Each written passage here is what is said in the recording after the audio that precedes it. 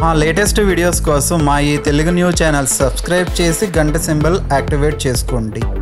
చిన్న పెద్ద అంతా సంతోషంగా జరుపుకునే పండుగ వినాయక చవితి. అంతా కలిసి ఎంతో ఇష్టంగా జరుపుకుంటారు. వినాయక చవితి రోజున ఉదయం నిద్ర లేస్తూనే ముందుగా ఇంటిని శుభ్రం చేసి తలంటు స్నానం చేయాలి. గుమ్మానికి మామిడాకుల తోరణం కట్టాలి వాకిళ్ళను అలంకరించాలి. ఓ పీటకు పసుపు రాసి దానిపై కొన్ని బియ్యం వేసి వినాయకుడి విగ్రహాన్ని ఉంచాలి. పూజకు తెచ్చిన సామాగ్రిని కూడా అందుబాటులో ఉంచుకోవాలి. పాలవెల్లికి పసుపు రాసి కుంకుమ బొట్లు పెట్టి దాన్ని విఘ్నేశ్వరుడి తలపై వచ్చేలా తాళ్ళు కట్టి వేలాడ తీయాలి. పాలవెల్లికి పుష్పాలు కాయలు పండ్లు అందంగా అలంకరించాలి. వినాయకుడికి ఉండ్రాళ్ళు కుడుములంటే చాలా ఇష్టం. గారెలు పాయసం మొదలైన పిండి వంటకాలతో పాటు వీటిని కూడా తప్పనిసరిగా తయారు చేసుకోవాలి. వినాయకుడి విగ్రహం ఎదుట పీటపై కొన్ని బియ్యం పోసి దానిపై రాగి వెండి మట్టి ఏదో ఒక పాత్రకు పసుపు రాసి కొబ్బరికాయ ఉంచి కలశాన్ని ఏర్పాటు చేయాలి. తరువాత పసుపు ముద్దతో పసుపు గణపతిని తయారు చేసుకోవాలి.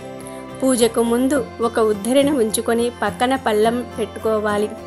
పూజ చేసేటప్పుడు చేతికి అంటే పసుపు కుంకుమలను తుడుచుకోవడానికి ఒక వస్త్రాన్ని దగ్గర పెట్టుకుంటే మంచిది. పూజకు కావలసిన సామాగ్రి పసుపు కుంకుమ గంధం అగరవత్తులు కర్పూరం తమలపాకులు వక్కలు పూలు పూలదండలు అరటిపండ్లు కొబ్బరికాయలు బెల్లం లేదా పంచదార పంచామృతం తోరం దీపారాధన కుందెలు నెయ్యి నూనె దీపారాధన వత్తులు వినాయకుడి ప్రతిమ ఇరవై ఒక్క రకాల ఆకులు గుండ్రాళ్ళు కుడుములు పాయసం.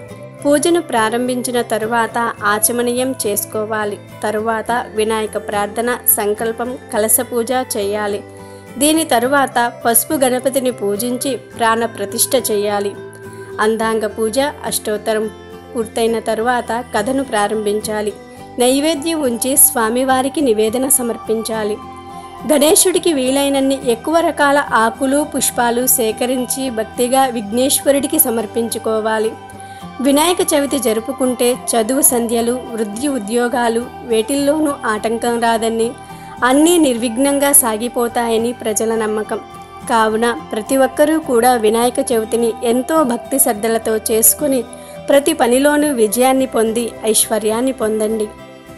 వీడియో నచ్చితే లైక్ చేయండి షేర్ చేయండి. బట్ సబ్స్క్రైబ్ చేసుకోవడం మర్చిపోవద్దు.